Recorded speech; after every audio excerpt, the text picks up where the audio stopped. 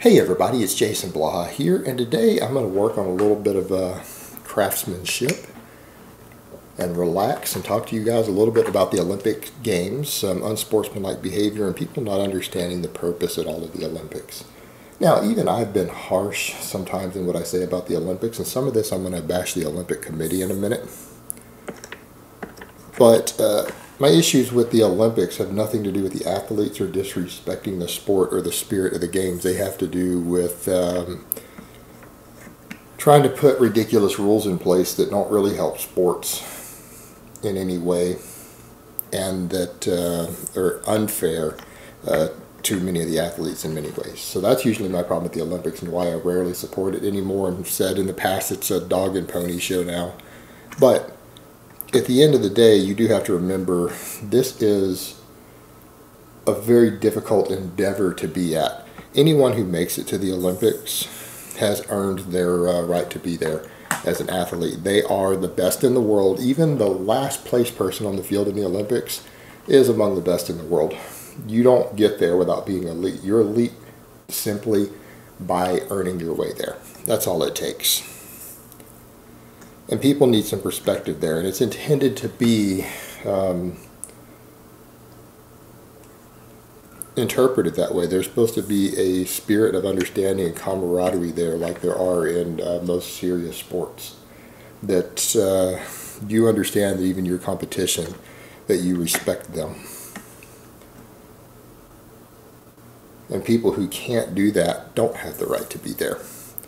Now, one of the things that came up, I saw an article, I'm going to mention this first because this really highlights uh, how some people disrespect that. Writers and other people, they don't seem to grasp that they need to set their personal prejudices aside and realize that, again, everyone who's made it to the Olympics and places at all is elite.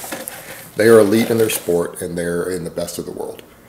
But a writer uh, wrote this kind of bad piece about a CrossFitter because this woman, uh, I think her name, name is Tia Toomey, if I'm saying that correctly. Someone else will correct me if I'm wrong on that one, I'm sure. She took second place. She was a runner-up at the CrossFit Games, so second fittest woman in the world according to CrossFit, which, you know, that doesn't mean that she is by any means, of course. But uh, runner-up, well, she went to the Olympics and Olympic lifting, and she took 14th place or she's ranked 14th. And this writer, because he doesn't like CrossFit, slammed her for it as an insult. And that is really someone who doesn't understand sportsmanship. They don't understand the Olympics. They don't understand, uh, again, anything about sportsmanship. That is not something that you, as a fan of a sport or a believer in sportsmanship or an understanding of how elite you have to be to be at the Olympics in place uh, they shouldn't be writing articles about sports in general if, if they're going to take that stance. That is just uh, ridiculous that he would berate her for that because what it comes down to when you are among the best in the world to take 14th place in the Olympics, the Olympic Games, in a sport like weightlifting, of all things, that is one of the most competitive sports. Uh, the competition is absolutely fierce and it's it is extremely difficult to even get invited to the Olympic Games and, and uh, weightlifting. Uh, it is you have to be well into the top one percent to even get invited. All right, you have to be elite to even be invited, and to take 14th place is actually a place of honor. Uh, it brings honor to your country. It brings honor to your sport to even be able to take 14th place in such a competitive sport like uh, weightlifting.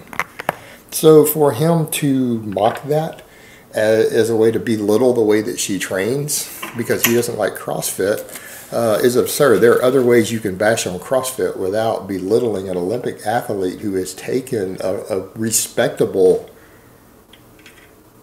placing in the Olympics. I mean, uh, the audacity of it is again, this is someone who shouldn't be writing about sports in general because they don't understand sportsmanship and they don't seem to understand that this woman is among the elite. Took 14th at the Olympics. There's no shame in that.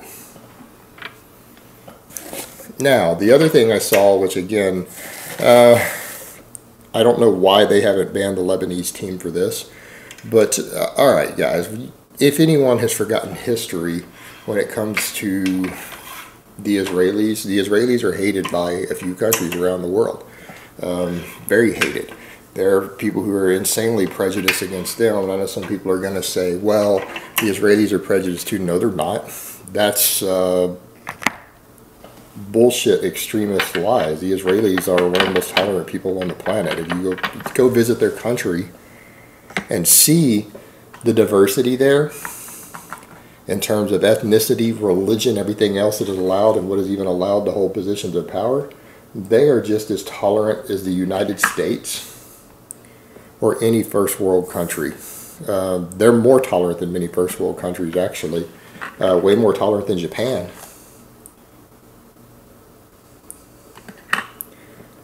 Who is also a first world high technology country like Israel. The Japanese, that is actually a very prejudiced country in terms of their laws and rules. Uh, Israel is not. So, I mean, people have these ideas, this propaganda has been spread, uh, who have clearly never been there. They've never visited the country. Now, that being said, we know there has been history in the past of the Israeli teams being murdered by extremists at the games. It's happened before. So that being said, why the organizers thought it would be a good idea to put them on the bus, the same bus, to the opening games with the Lebanese team is irresponsible and whoever made that decision should absolutely be fired and there should probably be an apology for it because they're responsible for that. Because I guess basically the Lebanese aren't capable of restraining themselves like normal human beings and setting their prejudices aside long enough for the Olympic Games to finish. So that team is not going to get much respect from me for that because their prejudices could be set aside for everyone to compete and finish the Olympic Games long enough to do that. But they couldn't. And so again, we see some unsportsmanlike behavior to where they pretty much were picking a fight and refusing to allow the Israelis to get on the bus for the opening games because they put both teams on the same bus. And uh, obviously the committee had to get involved um, and step in and put the Israelis on a different bus. But given the history there, the, the stupidity of putting the Israelis on any bus from any uh, Islamic country is extremely stupid, particularly any country that they in the last couple generations have had uh, conflicts with. So I don't know what they were thinking, but number two, uh, the Lebanese, I mean, had no right to behave that way at the Olympics either. That's not sportsmanship. And I think that everyone who was on that team who was part of that should probably be banned. Uh, they probably shouldn't be allowed to participate because they can't follow basic sportsmanship. At least the Israelis, when they were confronted that way, they didn't fight. They, they backed off and basically it said because we didn't want to get in trouble. We didn't want to break the rules. Um, so they backed off and let the uh, committee sort it out. Had they gotten in a fight over it, they could have risked, obviously, the same thing poor sportsmanlike behavior. But yeah, the Lebanese team should absolutely be banned for that. Uh, but their team, or at least the members they know, were part of it uh, because that's just unacceptable at something like the Olympics. And uh, again, it comes to the point of the committees know what prejudices exist out there, and you don't put people different groups uh, who they know there's going to be a risk of conflict like that on the same bus because some people are apparently incapable of setting aside their hatred and prejudices long enough for the Olympic Games.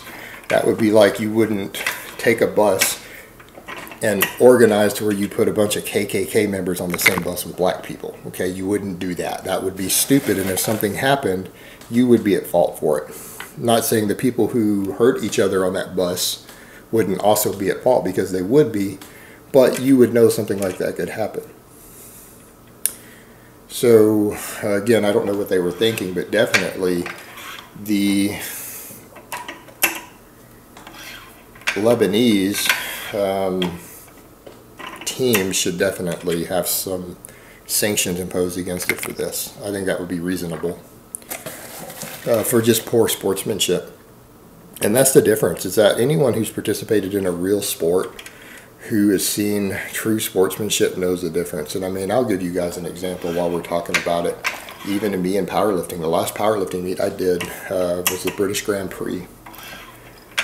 And yeah, I fought my way there. I mean, I had spent a year in bed. I'd been told by my doctors I would probably never lift again. And I'd been advised not to lift again and hadn't lifted in years. And I rebuilt myself and earned my way to that competition and it was a true fight. You know, I, I told you guys in the video before that I was going to take fifth place. That was what I was shooting for, but I got there and realized I had a shot to do better. And when I got to the deadlifts, it was neck and neck. I was tied with another lifter by the name of Rob McGuire for third place to get the bronze medal. And we fought all the way to the end. On his third lift, he passed my second deadlift by five pounds. So I had to reel my third attempt back in just to make sure that I beat him to get my medal. Because I wanted that medal badly, and I knew that even if I made what I was going to attempt uh, with a torn hand that was bleeding already and getting slippery, I knew that if I made it, I was still not going to get the silver. There was too big of a gap. So no way I was getting the silver, and if I missed my third lift,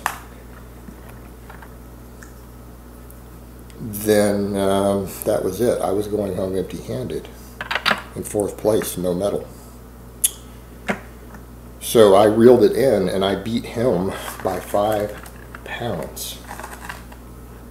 And he was hoping, he and his coach were watching. They were watching, fingers crossed. They He wanted that medal bad. I mean, he pulled a lifetime best deadlift to beat me by five pounds. That was the best he had ever hit at a meet, best he had ever hit in training. And then he injured himself at his next meet so I don't know that he is ever going to surpass that number again, but he gave everything that he had to beat me by five pounds. And I had to reel it in to make sure that I beat him. And I won by five pounds against someone who had just done the best that they had ever done, their lifetime best deadlift. Um, that he had been training for for years, had a fantastic coach with him named Tom Sparks. And you know what they did when I beat him by five pounds? They ran over and hugged me. Guy had just done the best he had ever done in his life. And then lost a medal to me by five pounds. It was two and a half kilos, guys. That's five pounds. So what does he do? They run over and hug me. Rob McGuire and his coach Tom Sparks, those guys are true sportsmen. That is sportsmanship. That is bringing honor and integrity to your sport. That's the sort of behavior that we need to expect out of Olympic athletes and anyone who is involved in discussing the Olympics and the sports. Sportsmanship, people. All right, guys, but that's really all I have to say on that today. I hope it's been informative and I will talk to you guys next time.